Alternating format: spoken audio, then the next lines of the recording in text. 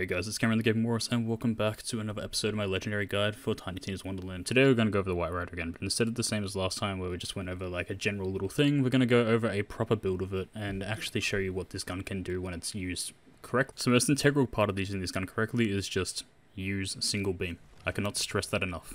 Dual beam is the worst thing on this gun.